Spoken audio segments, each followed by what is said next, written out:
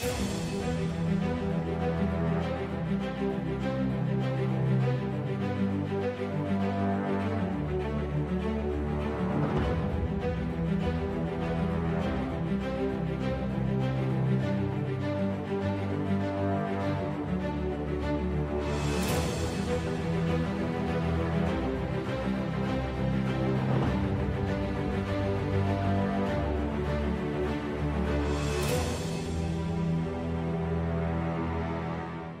Greetings once again in the name of Jesus, our blessed hope and soon returning King, and welcome to Christ in Prophecy.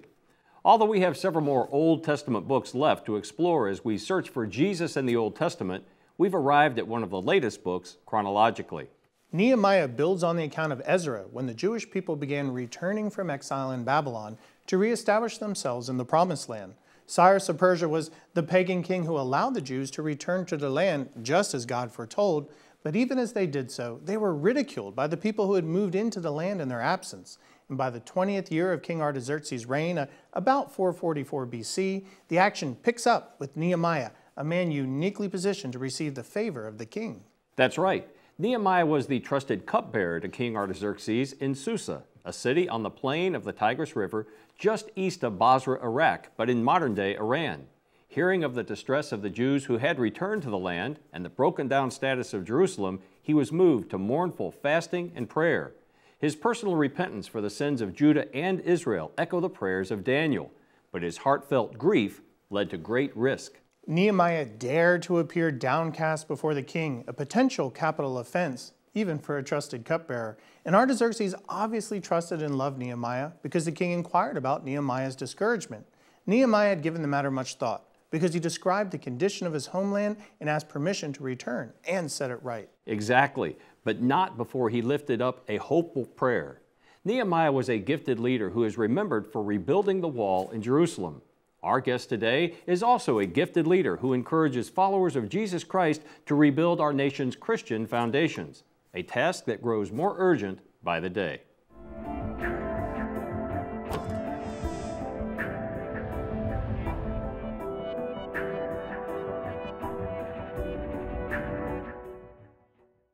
Some of you may already know our guest today. David Barton is the founder and leader of Wall Builders, an organization dedicated to presenting America's forgotten history and heroes with an emphasis on the moral, religious, and constitutional foundation on which America was built. His ministry, and that is indeed what it is, is headquartered just west of Fort Worth. David, I'm glad you're here with us. Tim, it's my pleasure. Thanks for having me, brother. David, what motivated you to establish Wall Builders, and how was Nehemiah, you know, both the book and the man, an inspiration to you? Uh, way back in 1987 and 1988, uh, the first book I ever wrote was called America to Pray or Not to Pray. And it, it came from my background. I was a I was not a history guy. I was a math and science guy. I was principal at school, coached basketball. And in the midst of being invited to Washington, D.C. to participate in Concerned Women for America conference they had, um, they asked us to set up a, a, a meeting with our congressman and we did so. And I didn't know what in the world to say to a congressman, never met one, didn't really care to meet one. Uh, I was real content with what I was doing in the country. And so, in, in, in praying about what we should do with the congressman, I just prayed and kind of blew it off like a lot of people do. But in, in this case, the prayer turned out to be something very significant. Um, the, the scripture says, if you commit your ways to the Lord, he'll establish your thoughts. And so for the next several weeks, I had two thoughts that I woke up with every morning, had every night. I could not get rid of them. And the two thoughts were when was God taken out of schools and what has happened to SAT scores since World War II? And SAT scores, I'm a principal. I know SAT scores in the 80s because that's when I was teaching school, running school. But I didn't know what they were since World War II. And I didn't know about prayer in school because we weren't praying in school, didn't figure anybody had. And so I saw that statistically in 1963, the SAT scores plummeted and fell for 17 consecutive years after having been stable for since 1926. And then I saw that the first time prayer was ever taken out of schools is in 1962. And I go, oh my gosh, look at the correlation. We take prayer out of schools and the statistics drop and they plummet. And so that correlation was very significant. As a math and science guy, there's two kinds of correlations. One is when you have a, a slow trend, you know, where stats change over time. But the other, when something goes this way and goes down, you've had an impact, some point of impact. So I showed this to the congressman and said, What do you think? Is it possible that taking prayer out of schools would have affected academic knowledge? He goes, Man, he said, We've debated prayer in schools a lot. I've never seen anything like this. He said, Somebody ought to research this. And it's like God said, You hear that? Uh, that's you. So for the next several weeks, we contacted uh, and asked for 47 different pieces of statistical information from cabinet level departments, uh, crime, uh, violence, uh, divorces, uh, parental parental involvement, just everything you can think of. And it turned out that all 47 pieces of statistical evidence turned turned downward violently in 1962, 63. And it's like, wow, you can't get 47 pieces to do it the same way.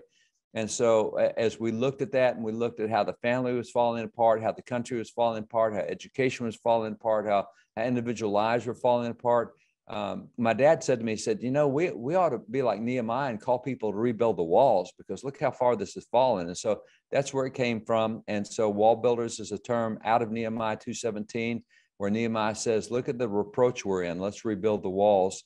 And so over the next six months, I read the book of Nehemiah from cover to cover once a day, and it gave a lot of guidance to this country boy on how to handle a lot of things that, that we now face on a regular thing. Nehemiah had his hostile media. Nehemiah had his opponents. Nehemiah had his enemies. Nehemiah had his allies. He had strategies on how to rebuild. Uh, the Bible is very, very good on, on how to restore something that's been torn down. Well, David, Nehemiah describes the report he receives from Judah concerning the state of the survivors and their capital. He was pierced to the heart. How does that experience relate to the state of our own nation and society? Yeah, and being pierced to the heart, it's interesting. I had not been pierced to the heart because I didn't know the state uh, of the nation. Uh, you know, I think it was like Nehemiah when he was cupbearer. He was happy with what he was doing. He was number, you know, really high in command there beside the king. And then he heard the report from his his home country, and he was pierced to the heart. And in my case, I've I've been happily ignorant of all these things and did not know. And, and then I found that as we started sharing this, many Americans were happily ignorant I think it's kind of like the frog, frog boiling in water. Um, the water gets warmer around you, but you don't notice that. And if somebody points out, you know, the water used to be like this. Oh my gosh, it's changed that much. Didn't realize. And so in my case, I was happily content. I, listen, I grew up in a little town of 220 people. I rode my horse back and forth to work. Uh, the, the four things we never wanted to hear about was law, government, politics, and history and and yet here when i get into it that's that affects every one of us so it really was a wake up call and kind of like nehemiah is when you get the report you go man i didn't realize it was that bad i've been surrounded by my own life and didn't know this was going on in the country as we mentioned in our introduction we found nehemiah's initial response offers much insight to his own heart what did he do yeah, Nehemiah, uh, you know, when he when he told the people what needs to be done, they all said, "This is an impossible task." Don't you see how bad it is? These walls used to be 70 feet high. Now they're all rubble. The stones that are massive and big, they're all piled up. There's no way we can do this. And I think it's very interesting that that what Nehemiah did was he encouraged the people, and he encouraged them in a way that I think is very good for for culture at any point in time. He didn't encourage them to rebuild the whole walls. He encouraged them to rebuild their part of the walls. And so what, what happens is we often get captivated today with national news and we say, I can't change the president. I can't change Congress. I can't fix the Supreme Court. Great. Don't do that. You just fix your own part right around. And, and I, it was striking to me that you had the men of Tekoa who put 1,500 meters of wall together, and you had the priest who didn't do anything except their own house. Well, good for them. At least they got their house up, and their house was on the wall, and that's a part of the wall. So when everybody did what they were able to do that they could do themselves in 52 days, this thing is finished. And that's what I think is always uh, astounding is when you look at the whole big task, it's too big. When you take a piece of the task, you can do it.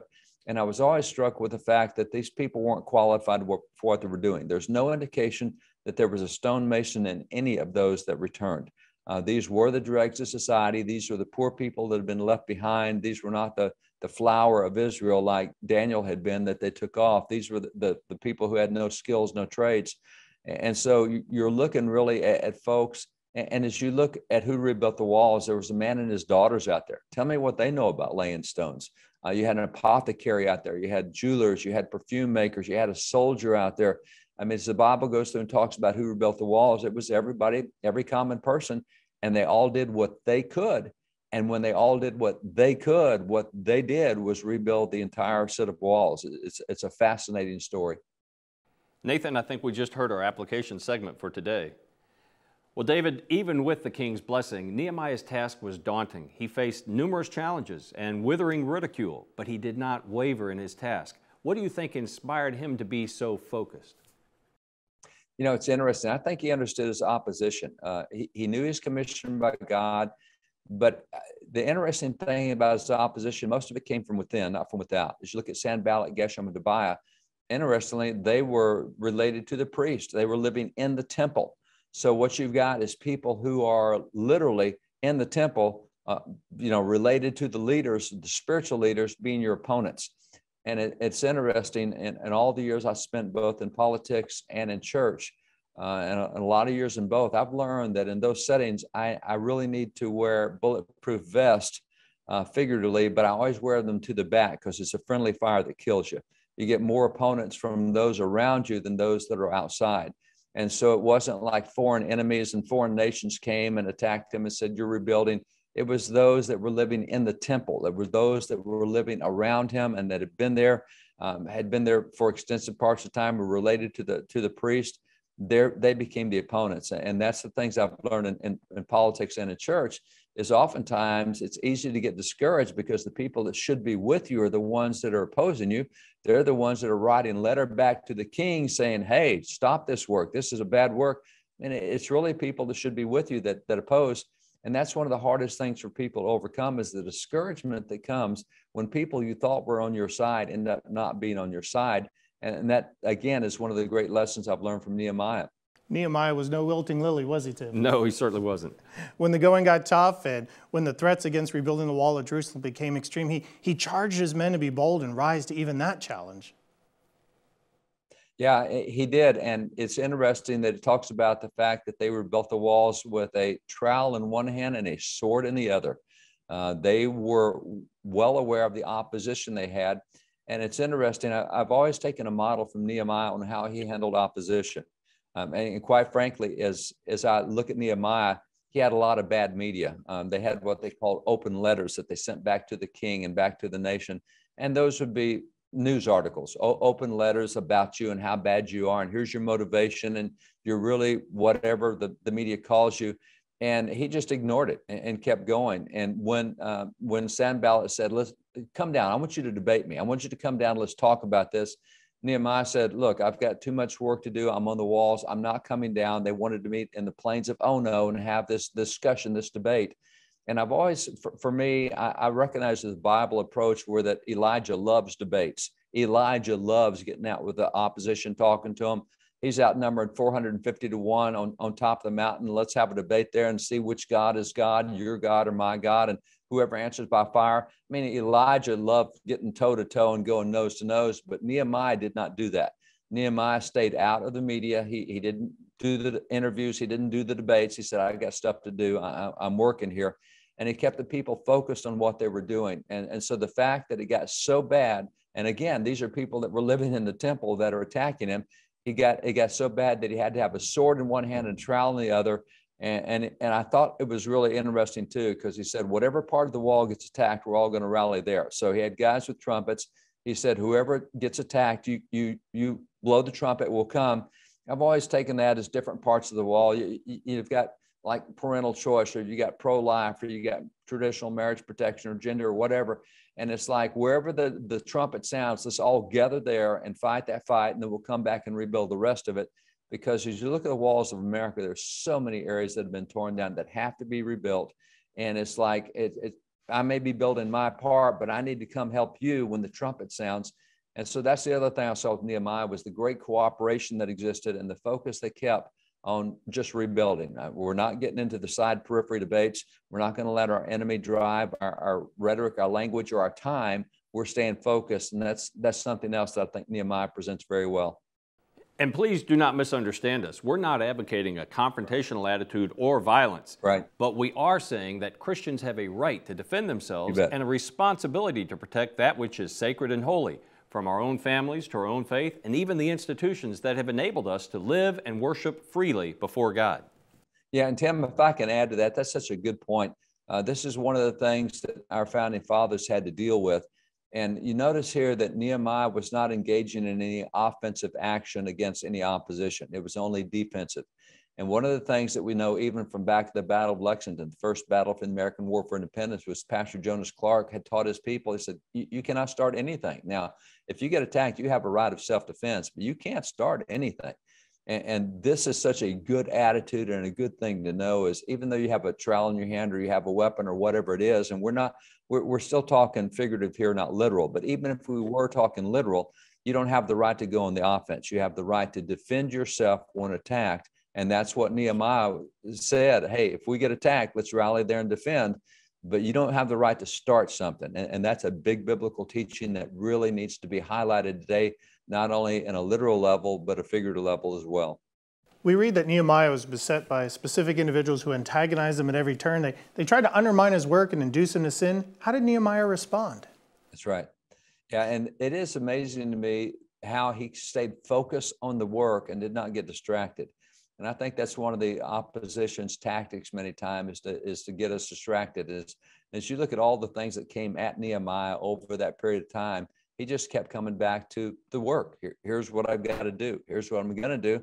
And I'm not going to get distracted with your open letters. I'm not going to distracted with your threats of attack. I'm not going to get distracted with the fact that you wrote the king. And there's just there's a lot of good stuff there on focus that I think would be helpful for all of us. David, the title of this series is Jesus in the Old Testament. Where do you see the Messiah in Nehemiah, whether a pre incarnate Christophany or a type or maybe a foreshadowed?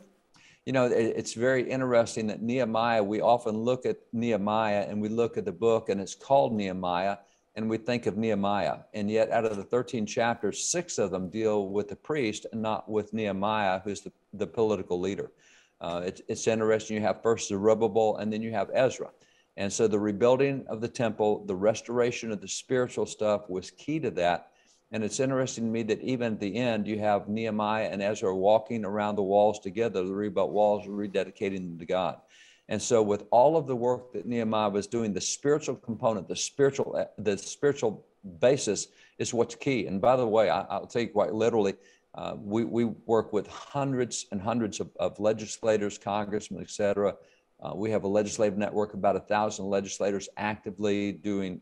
We, we monitored 159,000 pieces of legislation this year, state level, everything you can think of. And we always tell these guys, look, you got in office, you need an intercessor with you. You, you need an Ezra, you need a Zerubbabel, you need a priest. You're the Nehemiah guy. You're the one who wants to go out and, and, and take on the culture and rebuild the stuff and get that's great but you need that guy that nobody ever pays attention to who is in the temple and he's praying and he's fasting and he's doing all the stuff and you got to get intercessors and activists connected and so one way that i see jesus in this is the spiritual foundation that has to be part of any activist. And we got a lot of activists and a lot of people called to do things whether it's life or marriage or, or choice or whatever it is. You got to keep you got to keep that spiritual part centered. So I, I, think there's that but i also think you can look at nehemiah and say hey this is a figure of christ the rebuilding the restoration the, the bringing the culture back and he kept pointing people to god. So i, I see a, a, lot of both figurative and and maybe more symbolic aspects of christ in because you do see christ in every aspect of every book of the bible and he is the great rebuilder of that which has been torn down in our lives individually in our culture as well. Uh, but I also think there's the the aspect that hey, as individuals, whatever we are, whatever we're called to do, don't forget the spiritual side over here that goes with it. The the priests, the the Ezras and the Zerubbabels, you've got to have that at the base of what you do. David, you've mentioned one of the other men who was inspired to return to Jerusalem was Zerubbabel, who received a mighty promise from the Lord through the prophet Haggai. What promise does God offer to those who put their trust in Him follow as he leads, and overcome all the challenges, even that we experience. You know, part of the overcoming means you're going to have a lot of battles. You don't overcome, you don't win if you don't fight. And so sometimes I think overcomers, people like the concept of overcoming without thinking about what overcomer means. It means you have struggles, you have a lot of tough stuff, you've got a lot of stuff that that that is not good, and yet uh, I've, I've learned life lessons over periods of time, and Nehemiah would, would be an example of one of them. But you know, when when you look, at, I just share life lessons real quick.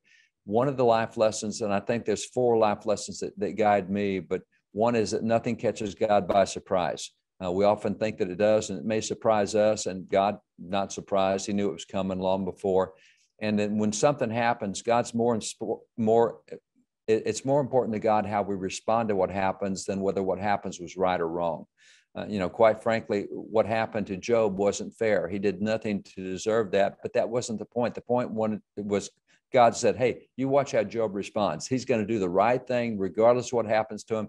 What happened to Joseph wasn't fair. What happened to Daniel wasn't fair. It's not about whether it's fair. And so overcoming means you're going to have to face some adversity. It means you're going to have to face some things that aren't fair, things that are going to be easy to get bitter about. But God has so much confidence in you. He's saying to Satan, You watch. He's going to do the right thing. He's going to respond the right way. It's going to be great and that's part of the overcomer thing is you are going to have things to overcome and it's not a smooth ride and you're going to have a lot of stuff that's not fair and what happened to nehemiah wasn't fair he was sent back by the king. So why would they turn on him? Why would they try to attack him? He's he's commissioned by the king to do this. That's part of life is all the unfair stuff that happens. And so part of being an overcomer is you're going to have a lot of trash and a lot of garbage to wade through and you shouldn't look at that and say woe is me. You should look at that and say oh boy another challenge. I get i get to whip this thing. And i think that's the confidence god has and it's like like with job and satan. He says watch satan job's going to do the right thing. You, you just watch. He will. And that's part of the overcomer aspect. David, with the inspired leadership of Nehemiah and others, uh, people eventually confessed their sins, we read, and they repented. Look at chapter 9, especially verses 34 through 38. What encouragement does that offer us today? You know, it's, it's interesting because they repented of the sin, not only of their sin, but the sin of their forefathers, because they're not the ones that had that wall torn down. That most of them were born after that. It's 70 years since the wall's been destroyed. They're not the ones that committed the sin that God said, okay, I'm going to have to spank you as a nation. I'm going to have to tear this down. Uh, so it's interesting that that they said, you know what? Even the sins of our fathers have an effect on us, and we need to repent of those sins. So being sin conscious, because it would have been very easy for them to be self righteous, say, We're not the reason this went down. We're not the ones that caused this. It was our fathers who had the idolaters. Our, that's not it. You have to identify and say, You know what? We have a sinful nature and we need that nature acknowledged. And by the way, even the generation before us, we have to identify with what they've done and say, You know what? We're even the product of some of what they've done so that the the concept of identifying and acknowledging sin is one of the first things. You can't forsake sin and you can't turn against it if you don't first identify that it exists and that it is there. And so, even if it's somebody else's sin, like my forefathers' sin, like those from 100 years ago, got to acknowledge that sin and say, you know what, but it, I'm not going to let that sin come back into the culture or into me. It's not going to be part of what I do. And I'm, I'm going to live above that sin level. And so I think it was important that those people who confessed their sin weren't just confessing their own sin, they were confessing the sins of those who had come before, of generations before. And this is part of what we as Americans have to do too. We've got plenty of good things in our past, we've got plenty of sinful things in our past.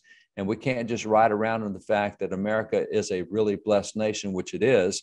We got to look at some other things and say, you know what, sins of our forefathers, but we're going to learn from that. We're going to, as the Bible says, forsake our sin including those of our forefathers, and we're going to move forward and make this a bright, shining example. Well, David, you are such an inspiration to so many, including me. And so thank you for sitting down with us today via Zoom. And just tell us, how can our viewers connect with the tremendous work you're doing at Wall Builders? Uh, Tim, they can go to wallbuilders.com and there they will find a plethora of information about America, about rebuilding America, about where we are opportunities, examples, unknown history, uh, which is part of the, the fun stuff too, that you find that as Nehemiah was rebuilding the walls, one of the things that said they did was they rebuilt the wall, the, they rebuilt what they called the Hall of the Heroes. They recovered their own history. They went back and said, hey, look at the great heroes we had. Let, let's remember our heroes. And so that's part of what we do at, at Wall Builders is help recover the Hall of Heroes. And we have some great ones that have gotten away from us that we need to recover. Well, David, may the Lord's blessing be on you and your staff. And in the closing words of Nehemiah, remember David, oh my God, for good. Thank you, brother. I received that. God bless you.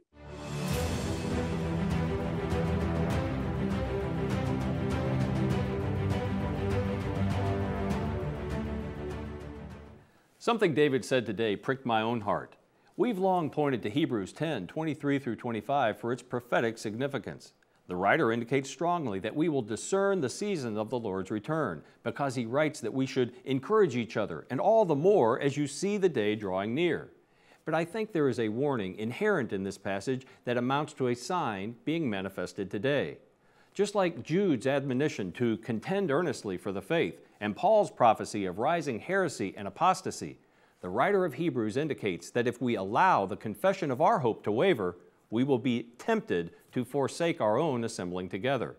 We've documented the disastrous and unconstitutional prohibitions against gathering to worship imposed by authoritarian governors over the past two years.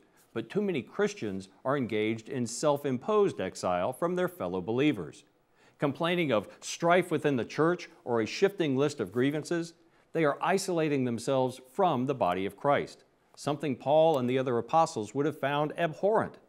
Apply the wisdom of Ecclesiastes 4:12 and stay united with fellow believers. Even if you are strong enough to stand on your own, your presence may be just the encouragement a brother or sister in Christ needs. It's so important to stay connected with other believers, isn't it, Tim? Sure is. I mean, too many Christians have this lone wolf mentality thinking that they can go it alone or buying into that false claim that's just me and Jesus. Exactly. You know, our Lord does not give us that option he said that he would build his church, referred to in the New Testament by the Greek word ecclesia, a called out assembly. We are commanded to become a part of the body of Christ, not drift off as some kind of self sufficient organism. David Barton also makes the powerful point that every person must do what they can, but that together we can accomplish much. By ourselves, we tend to lose focus and despair, just like Elijah. Nehemiah also demonstrates that God's plan for the Jewish people cannot be thwarted. He preserved and protected them while they were in exile. His Holy Spirit stirred the heart of a pagan king, allowing them to return to Israel to rebuild the walls of Jerusalem. He provided gifted leaders like Nehemiah, but the Lord gets all the credit for keeping his ancient promise to Abraham, Isaac, and Jacob. As he still does today. Now, folks, if you want to understand God's timeless plan to bless the Jewish people, you'll want to get a copy of Dr. David Reagan's book, The Jewish People Rejected or Beloved. For a gift of $20 or more, we'll be glad to send you a copy. One of the themes that runs throughout the Old Testament is God's unchanging promise to bless the Jewish people and to use them as a conduit of blessing to the rest of the world. The greatest manifestation of that blessing is our Jewish Messiah, Jesus Christ. We trust that you're still following along and reading each book as we come to it and picking out your own key verse or verses.